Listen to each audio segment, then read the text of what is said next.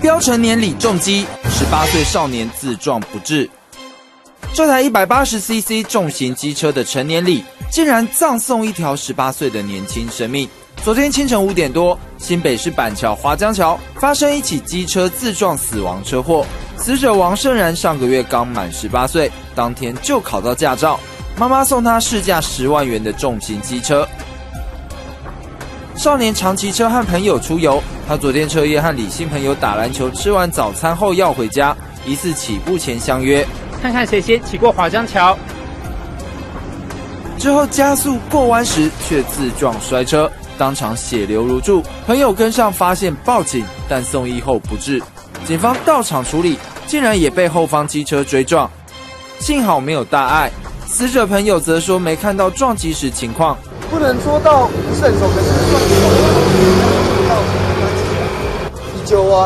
有有没有飙过你啊？没有，他当警方被接走了。